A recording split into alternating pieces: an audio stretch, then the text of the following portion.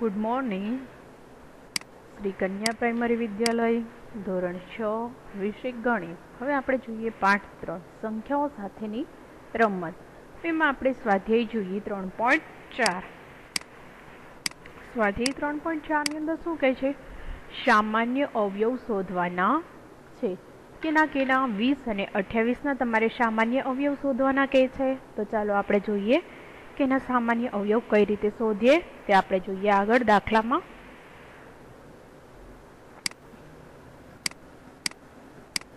સ્વાધ્યાય ત્રણ પોઈન્ટ ચાર. સ્વાધ્યાય ત્રણ પોઈન્ટ ચારની અંદર જોઈએ દાખલા નંબર પહેલો. દાખલા નંબર પહેલાની અંદર આપણે લખીએ, શું કે છે? એમાં વીસ અને અઠ્યાવીસના અવયવ કીધા છે. વીસ અને અઠ્યાવીસ.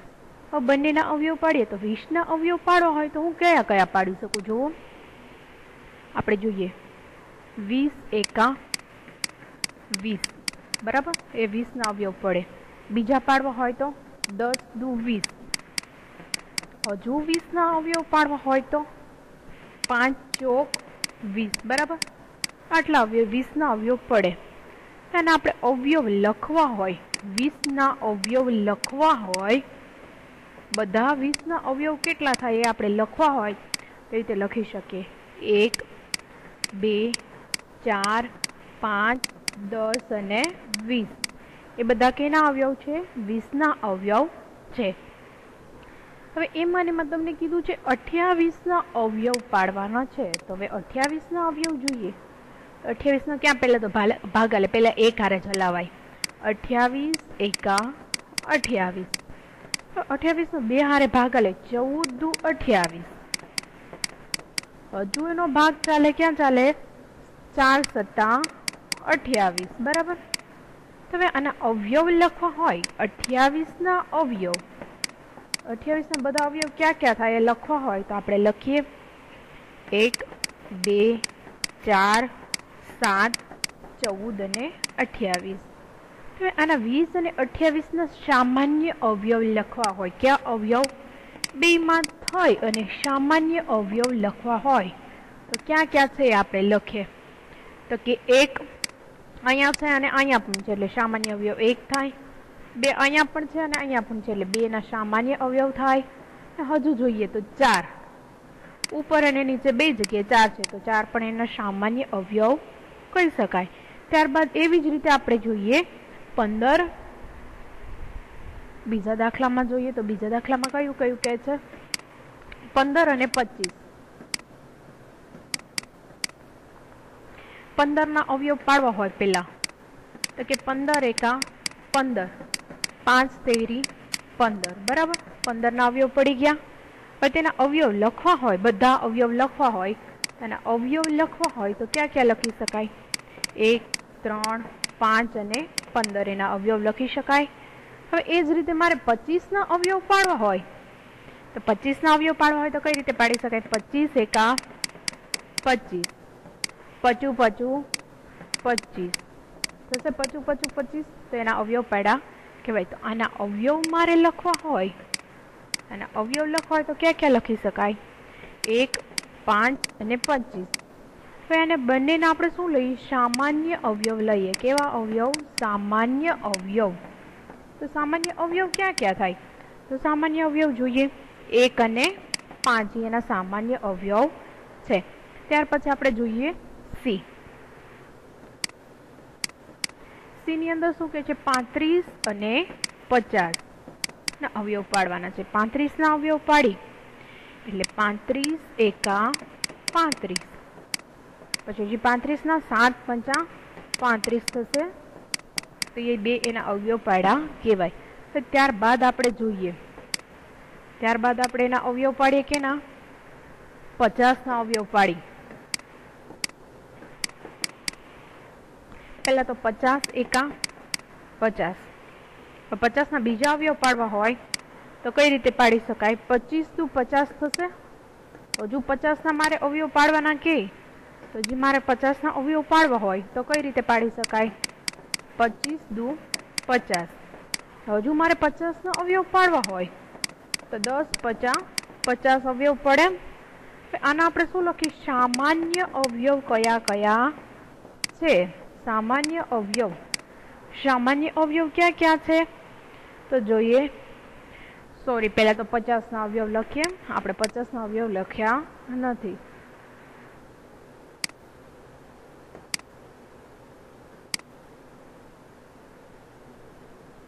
સોરી. પહેલા સામાન્ય આપણે જોઈ લઈએ, પાંત્રીસના અવયવ ક્યાં ક્યાં થાય? તો પાંત્રીસના અવયવ. પાંત્રીસના અવયવ ક્યાં છે? એક, પાંચ, સાત અને પાંત્રીસ. હવે એ જ રીતે જોઈએ પચાસના અવયવ પાડીએ. તો કે પચાસ એકા પચાસ. પચીસ દુ પચાસ. દસ પચાસ પચાસ. હવે એના આપણે જોઈએ સામાન્ય અવયવ. સોરી પચાસના અવયવ લેશું. પેલા સામાન્ય અવયવ નહીં લઈ. પચાસના અવયવ. પચાસના અવયવ ક્યાં ક્યાં થાય? એક, બે, પાંચ, દસ, પચીસ અને પચાસ. એ છે એના એમનેમ અવયવ થાય. હવે જોઈએ બંનેના શું કરીએ? સામાન્ય અવયવ લઈએ. સામાન્ય અવયવ. તો સામાન્ય અવયવ ક્યાં થાય? એક અને પાંચ. એ બંનેના સામાન્ય અવયવ કહી શકાય કે એ બંને છે, એના સામાન્ય અવયવ છે. હવે ત્યાર પછીનો આપણે દાખલો જોઈએ. ત્યાર પછી છે ડી ડીની રકમમાં શું કહે છે તમને? છપ્પન અને એકસો ને વીસ. બરાબર? હવે આના અવયવ પાડવાના છે. તો પહેલાં જોઈએ છપ્પનના અવયવ. બરાબર? છપ્પનના અવયવ શું થાય? તો પહેલાં તો કે છપ્પન એકા છપ્પન થશે. હજુ છપ્પનના આપણે બીજા અવયવ પાડી. અઠ્યાવીસ દુ છપ્પન. શું થાય? અઠ્યાવીસ દુ છપ્પન. હજુ ભાગ પાડવા હોય તો? ચૌદ ચોક છપ્પન. હજુ ભાગ પાડવો હોય તો સાત અઠા કેટલા થાય? સાત અઠા છપ્પન. સાત અઠા થાય છપ્પન. બરાબર. હવે આના આપણે છપ્પનના બધા અવયવ લખવા હોય. છપ્પનના અવયવ ક્યાં ક્યાં એ લખવા હોય તેવું લખી શકાય. એક, બે, ચાર, સાત, આઠ, ચૌદ, અઠ્યાવીસ અને છપ્પન. આ બધા કેના અવયવ છે? છપ્પનના અવયવ છે. ત્યાર પછી આપણે જોઈએ એકસો વીસના અવયવ. બરાબર? એકસો વીસના અવયવ મારે પાડવા છે, તો એકસો વીસના હું અવયવ કઈ રીતે પાડી શકું? તો જોઈએ. એકસો વીસ ગુણ્યા એક સાથે લઈએ તો એકસો વીસ થશે. ત્યાર પછી ના જોઈએ. એકસો વીસના હજુ બીજા અવયવ પાડીએ. તો કે સાઠ દુ એકસો વીસ. હજુ એના ત્રીજા અવયવ પાડી. તો ચાલીસ તેરી એકસો વીસ. હજુ આપણે એના અવયવ પાડી. ચાલીસ તેરી એકસો વીસ. હવે શું કરીએ? ત્રીજા અવયવ. ત્રીસ ચોક એકસો વીસ. ત્રીસ ચોક એકસો વીસ. ને હવે પાડીએ ચોવીસ પચાસ. એકસો વીસ. બરાબર? ચોવીસ પચાસ, એકસો વીસ. હજુ કરીએ. વીસ છક, એકસો વીસ. વીસ છક, એકસો વીસ. હજી કરીએ પંદર અઠા. એકસો વીસ. હજુ એના ભાગ પડે? બાર ગુણ્યા દસ એટલે એકસો વીસ. બરાબર? આ બધાના અવયવ આપણે કહી શકાય. તો એને મારે લખવું હોય. એકસો વીસના અવયવ. મારે લખવા હોય તો હું એના અવયવ ક્યાં ક્યાં લખી શકું, જુઓ. એક, બે, ત્રણ, ચાર, પાંચ, છ, આઠ, દસ, બાર દસ, બાર, પંદર, વીસ, ચોવીસ, ત્રીસ, ચાલીસ સાઠ અને એકસો વીસ. આ બધા કેના અવયવ કહી શકાય, એકસો વીસના અવયવ કહી શકાય. હવે બંનેના આપણે શું લઈએ? સામાન્ય અવયવ લઈએ. સામાન્ય અવયવ એટલે કે બેયનામાં આવતા હોય એવા અવયવ લઈએ. તો ક્યાં ક્યાં બંનેના સામાન્ય અવયવ છે એ જોઈએ. તો કે એક, બે, ચાર અને આઠ એ છે એના સામાન્ય અવયવ કહી શકાય કે આના સામાન્ય અવયવ છે. ત્યારબાદ આપણે જોઈએ દાખલા નંબર બે.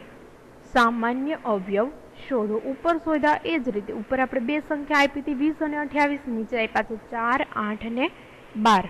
તો એના આપણે સામાન્ય અવયવ જોઈએ. કઈ રીતે એના સામાન્ય અવયવ નીકળે છે આપણે જોઈએ આગળ. દાખલા નંબર બે. દાખલા નંબર બે ની અંદર પેલો એ શું કહે છે? ચાર, આઠ અને બાર. પહેલાં આપણે ચારના અવયવ લઈએ. તો કે ચાર એકા ચાર. બે દુ, ચાર. બરાબર? અહીંયા આપણે લીધા એ અવયવ કેના પડ્યા?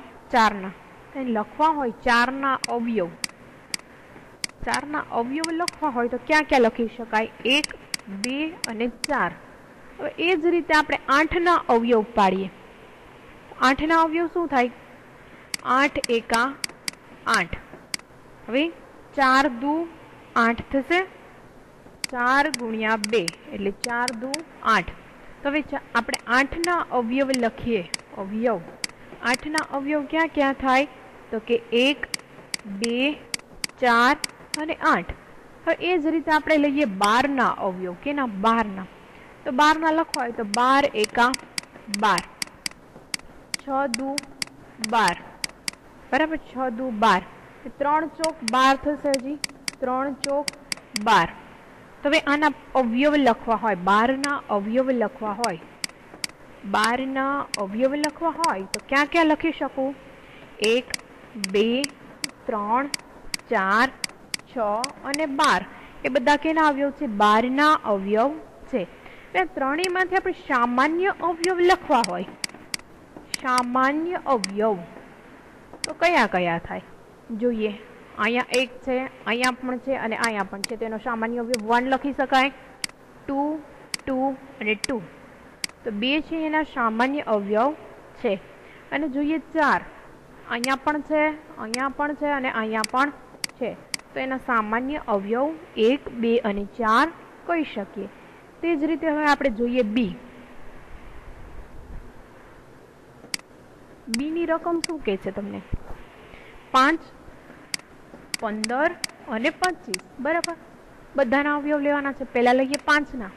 તો કે પાંચ એકા પાંચ, બરાબર? તો પાંચના અવયવ લખવા હોય.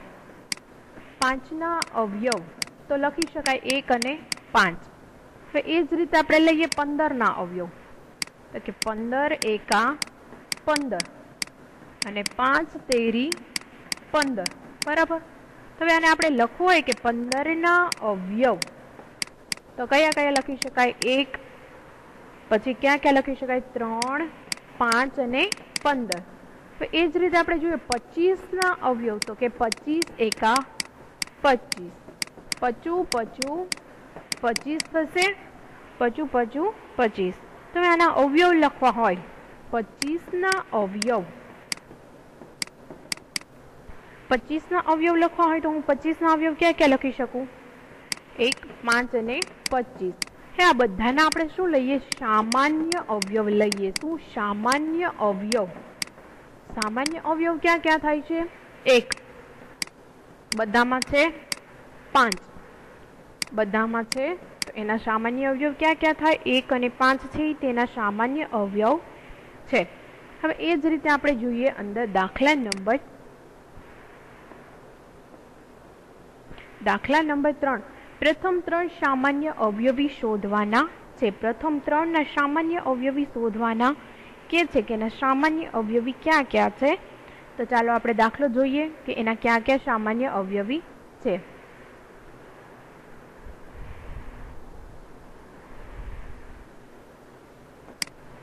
દાખલા નંબર ત્રણ. દાખલા નંબર ત્રણની અંદર પહેલી રકમ શું આપી છે? એ બરાબર છ અને આઠ. છ અને આઠના સામાન્ય અવયવી લેવાના છે. તો પહેલાં આપણે લઈએ છના. બરાબર? છના અવયવી. છના અવયવી ક્યાં ક્યાં થાય? તો છ એકાનો ઘોડો છ એકાનો પાડો બોલો છ એકા છ છ દુ બાર છ તેરી અઢાર, છ ચોક ચોવીસ, છ પચાસ ત્રીસ સાઠ સાઠ છત્રીસ, છ સત્તા બેતાલીસ. બરાબર? છ અઠા અડતાલીસ. એવી રીતે આગળ આગળ આપણે જોતું જવાનું છે. એવી જ રીતે આઠના અવયવી બોલીએ. આઠના અવયવી. આઠનો ઘડિયો બોલો. આઠ એક આઠ આઠ દુ સોળ, આઠ તેરી કેટલા થશે? ચોવીસ. આઠ ચોક બત્રીસ. આઠ પચાસ ચાલીસ. આઠ છક અડતાલીસ. આઠ છક અડતાલીસ ને આઠ સત્તા છપ્પન. બરાબર? હવે એને આપણને શું કીધું? આઠ અને ત્રણના પ્રથમ સામાન્ય ત્રણ અવયવી લેવાના છે. તો પ્રથમ ત્રણ સામાન્ય અવયવી લઈએ. સોરી એક સેકન્ડ સામાન્ય ત્રણ અવયવી લેવાના છે, એટલે હજુ આપણે જો છ ના ભાગ પાડ્યા, ક્યાં સુધી? છ, સત્તા, બેતાલીસ. બેતાલીસ એટલે હવે લખીએ છ અઠા અડતાલીસ. છ, નવે, ચોપન. છ, દાન, સાઠ થઈ ગયા. છ, દાન, સાઠ થઈ ગયા. સાઠ પછી હજુ આપણે એના ભાગ ચલાવીએ, એટલે ક્યાં ચાલે? છાસઠ. પછી બોતેર. એ આગળ એના ભાગ ચાલે. એ જ રીતે આપણે આઠના અવયવી લઈએ. કે ના આઠના અવયવી. આઠ એકા આઠ આઠ દુ સોળ, આઠ તારીખ ચોવીસ, આઠ ચોક બત્રીસ આઠ પચાસ ચાલીસ, આઠ છક અડતાલીસ, આઠ સત્તા છપ્પન અઠ્યોઠ્યું ચોસઠ, આઠ નવા બોતેર, આઠ દાણ એંશી, પછી અગિયાર અઠા અઠ્યાસી રીતે બાર અઠા છન્નું. બરાબર? ભાગ ચાલ્યા. હવે શું સામાન્ય ત્રણ અવયવી લેવાના છે? કેવા? સામાન્ય પ્રથમ ત્રણ લેવાના છે. પ્રથમ ત્રણ શું લેવાના છે? અવયવી. પ્રથમ ત્રણ અવયવી લેવાના છે તો પ્રથમ ત્રણ અવયવી ક્યાં ક્યાં છે આપણે જોઈએ. બેમાં કોમન આવતું હોય એવું લેવાનું છે. તો બેનામાં કોમન કયું આવે છે? તો જોઈએ આ સ્ટેપ ચોવીસ. અને અહીંયા પણ છે ચોવીસ. તો એના ક્યુ ચોવીસ થશે. પછી બીજું કયું થશે તો કે અડતાલીસ. અહીંયા પણ અડતાલીસ આવે છે અને અહીંયા પણ અડતાલીસ આવે છે. એ જ રીતે હવે ત્રીજું જોઈએ, સામાન્ય અવયવી. તો કયું? બોતેર. અહીંયા પણ બોતેર આવે છે અને અહીંયા પણ બોતેર આવે છે. તો પ્રથમ ત્રણ અવયવી આના આ થાય. હવે એમાં જોઈએ બી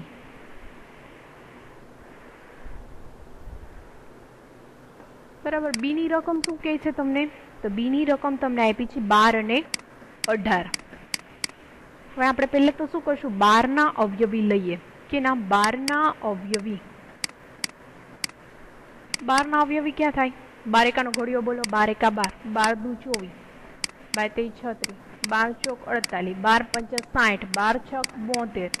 બાર સત્તા ચોર્યાસી. બાર અઠા છન્નું. બાર નવા એકસો આઠ, બરાબર? બાર દાણ એકસો ને વીસ. હવે એ જ રીતે આપણે અઢારના અવયવી લેવાના છે કે ના? અઢારના અવયવી. અઢારના અવયવી લઈએ, અઢારનો ઘડિયો બોલીએ, અઢાર એકા, અઢાર. અઢાર દુ, છત્રીસ. અઢાર તેરી, ચોપન. અઢાર ચોક, બોતેર. અઢાર પંચા, નેવું. અઢાર છક, એકસો આઠ. અને અઢાર સત્તા એકસો છવ્વીસ. બરાબર? હવે આપણે જોઈએ સામાન્ય, પ્રથમ ત્રણ સામાન્ય અવયવ લેવાના છે. કેટલા? પ્રથમ ત્રણ. પ્રથમ ત્રણ સામાન્ય અવયવી લેવાના છે. સામાન્ય અવયવી લેવાના છે. જોઈએ ક્યાં ક્યાં થાય. તો કે બે ની અંદર કોમન હોય એવા લેવાય. અહીંયા પણ છત્રીસ છે અને અહીંયા પણ છત્રીસ છે. તો આપણે લઈ શકીએ. બીજું? તો કે બોતેર. અહીંયા પણ છે અને અહીંયા પણ આપેલું છે. તો કે બોતેર. અને ત્રીજું કયું છે? સામાન્ય તો કે એકસો આઠ. અહીંયા પણ એકસો આઠ છે અને અહીંયા પણ એકસો આઠ છે. તો આ પણ એના સામાન્ય અવયવીમાં આવે. હવે ત્યારબાદ જોઈએ ચોથી રકમ. શું કે ત્રણ અને ચારના સો કરતા નાના સામાન્ય અવયવો લખો. ત્રણથી સોના ત્રણના સોથી નાના અવયવ અને ચારના સોથી નાના અવયવ લખવાના છે. તો ચાલો આપણે અવયવ લખીએ ના ક્યાં ક્યાં અવયવ થાય તે જોઈએ. દાખલા નંબર ચાર. દાખલા નંબર ચારની અંદર શું કે ત્રણથી નાના. ત્રણથી સો સુધીના કેવા લેવાના છે? ત્રણથી સો થી નાના. શું લેવાનું છે? અવયવી. હવે અવયવી લઈએ. ચાલો લખતા જઈએ. ત્રણ, છ, નવ, બાર, પંદર અઢાર એકવીસ ચોવીસ સત્યાવીસ ત્રીસ તેત્રીસ છત્રીસ ઓગણચાલીસ બેતાલીસ પિસ્તાલીસ અડતાલીસ એકાવન ચોપન સત્તાવન સાઠ ત્રેસઠ છાસઠ, ઓગણસિત્તેર, બોતેર, પંચોતેર, અઠ્યોતેર, એક્યાસી, ચોર્યાસી, સત્યાસી, નેવું, ત્રાણું અને નવ્વાણું. બરાબર? હવે આ આપણે લખાય ત્રણથી સોના નાના અવયવ લખ્યા હવે એ જ રીતે આપણે કીધું છે ચારથી ચારના ચારના સોથી નાના થી નાના અવયવી લેવાના છે આ લીધા એ જ રીતે આપણે ઓના અવયવી લઈએ તો જુઓ લખીએ ક્યાં ક્યાં થશે ચાર આઠ બાર સોળ વીસ ચોવીસ અઠ્યાવીસ બત્રીસ છત્રીસ ચાલીસ ચુમ્માલીસ અડતાલીસ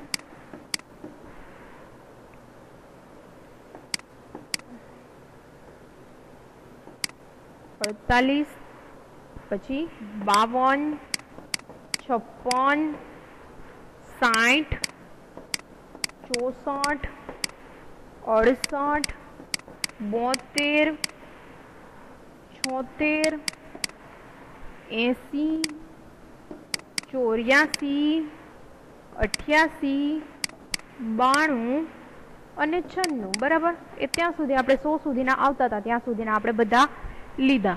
હવે આનું શું કરવાનું કહે છે? અહીંયા સુધીના આપણે લીધા. હવે ત્રણ અને ચારના શોધ કરતા નાના હોય તેવા સામાન્ય અવયવ લેવાના છે. સામાન્ય અવયવ લેવાના છે. સામાન્ય અવયવ ક્યાં છે? તો કે અહીંયા બાર. ને અહીંયા પણ છે બાર. તને સામાન્ય અવયવ લઈએ. સામાન્ય અવયવ. તો પેલું તો સામાન્ય અવયવ બાર. પછી બીજું કયું છે? ચોવીસ જુઓ. અહીંયા ચોવીસ છે, અહીંયા પણ છે ચોવીસ. તો એનો સામાન્ય અવયવ ચોવીસ થશે. પછી છે છત્રીસ. અહીંયા પણ છત્રીસ છે, અહીંયા પણ છત્રીસ છે, તો એ પણ એનો સામાન્ય અવયવ કહી શકાય છત્રીસ. પછી છે અડતાલીસ. અડતાલીસ જુઓ, અહીંયા પણ છે અને આમાં પણ છે અહીંયા અડતાલીસ. અડતાલીસ છે એના સામાન્ય અવયવ કહી શકાય. પછી છે સાઠ જોઈ શકો છો, ત્યાં સાઠ છે, અહીંયા પણ આપણી પાસે સાઠ છે, તો એના સામાન્ય અવયવ કહી શકાય. પછી છે બોતેર. અહીંયા પણ છે આપણી પાસે બોતેર અને અહીંયા પણ આપણી પાસે બોતેર છે. કે સામાન્ય અવયવ છે. હવે તે પછી આપણે જોઈએ ચોર્યાસી. ત્યાં પણ છે અને અહીંયા પણ એના ચોર્યાસી છે. હવે જોઈએ ચોર્યાસી છે, એના સામાન્ય અવયવ છે. ત્યાર પછી જોઈએ છન્નું. છન્નું, એટલે અહીંયા પણ છે આપણી પાસે છન્નું અને અહીંયા પણ આપણી પાસે છન્નું છે, તો એના સામાન્ય અવયવ કહી શકાય. હવે ત્યાર પછી આપણે જોઈએ દાખલા નંબર પાંચ. નીચેની સંખ્યામાંથી સહ અવિભાજ્ય સંખ્યા કઈ છે? શું કે, આપેલી બંને સંખ્યા છે બધા જ અવયવો આપણે એના શોધવા પડે. જો બંને સંખ્યાના અવયવો સામાન્ય અવયવ એક હોય, તો આ બે સંખ્યાના સ અવિભાજ્ય અવયવ સંખ્યા કહી શકાય. તો આપણે બધાના અવયવ શોધીએ અને જોતા જઈએ કે કેના શ અવિભાજ્ય અવયવ છે. જોઈએ.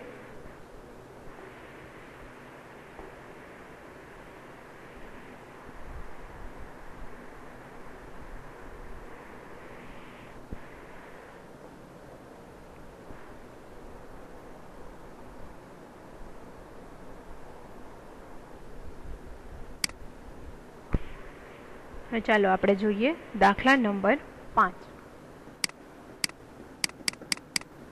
દાખલા નંબર પાંચની અંદર આપણે જોઈએ તો પેલી રકમ શું છે? એ બરાબર અઢાર અને પાંત્રીસ. તો એના આપણે ભાગ પાડીએ. તો અઢારના અવયવ ક્યાં ક્યાં પડે? તો કે અઢાર એકા અઢાર. બરાબર? અઢારના હજુ બીજા ભાગ પાડવા હોય તો નવ દુ અઢાર. હજુ એના ભાગ પાડવા હોય તો શું કહી શકાય? છ તેરી અઢાર થશે. આના અવયવ લખવા હોય, અઢારના અવયવ લખવા હોય, તો કયા કયા અવયવ લખી શકાય? એક, બે, ત્રણ, છ, નવ અને અઢારેના અવયવ કહી શકાય. એ જ રીતે આપણે પાંત્રીસના અવયવ લખવા હોય તો કે પાંત્રીસ એકા પાંત્રીસ. પાંચ સત્તા પાંત્રીસ. બરાબર? હવે આના અવયવ લખવા હોય, તો આના અવયવ લખીએ. આના અવયવ હજુ લખીએ આપણે. તો આના અવયવ ક્યાં ક્યાં લખી શકાય? પાંત્રીસના અવયવ, તો કે એક, પાંચ, સાત અને પાંત્રીસ. અઢાર અને પાંત્રીસના સામાન્ય અવયવ લખવાનો છે. શું કહે છે? સામાન્ય અવયવ. સામાન્ય અવયવ. સામાન્ય અવયવ કયો થાય? બંનેમાં સામાન્ય અવયવ એક છે. તો બંનેનો સામાન્ય અવયવ એક છે. અઢાર અને પાંત્રીસના સ અવિભાજ્ય અવયવની સંખ્યા છે. કેવી છે? આપણને કીધું હતું કે સહ અવિભાજ્ય સંખ્યા કઈ છે? તો એક છે એ સહ અવિભાજ્ય સંખ્યા છે, કે જેનો બેમાં ભાગ ચાલે છે. ત્યાર પછીનો આપણે જોઈએ, ત્યાર પછી છે એ દાખલો બીજો. બી બીની રકમ જોઈએ. પંદર અને સાડત્રીસ. હવે પંદરના ભાગ પાડીએ. પંદર એકા, પંદર. પાંચ તેરી, પંદર. બરાબર? આના લખવા હોય અવયવ. તો કઈ લખી શકાય? એક, ત્રણ, પાંચ અને પંદર. બરાબર, એ પંદરના અવયવ છે. તો ત્યારબાદ આપણે લખવું હોય સાડત્રીસના અવયવ. તો બરાબર સાડત્રીસના અવયવ શું થશે? સાડત્રીસ એકા સાડત્રીસ. તો આના અવયવ લખવા હોય તો કયા લખી શકાય? એક અને સાડત્રીસ. બરાબર? એક અને સાડત્રીસ લખી શકીએ. તો સાડત્રીસ એના અવયવ એક અને સાડત્રીસ થાય. તો આના સામાન્ય અવયવ લખવા હોય. શું સામાન્ય. સામાન્ય અવયવ કયો થઈ શકે? તો કે સામાન્ય અવયવ છે એક થાય. તો એવું કહી શકાય શ અવિભાજ્ય સંખ્યા એક છે.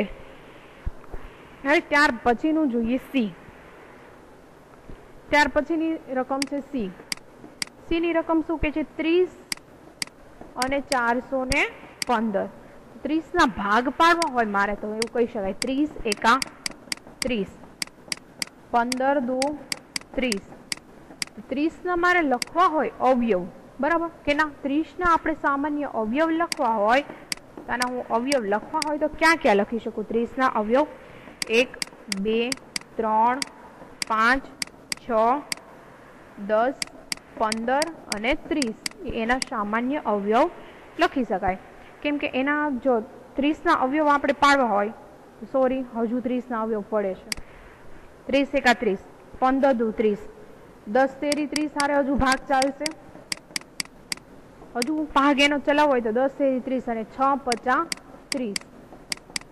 એટલે આ બધા એના સામાન્ય અવયવ રહેશે.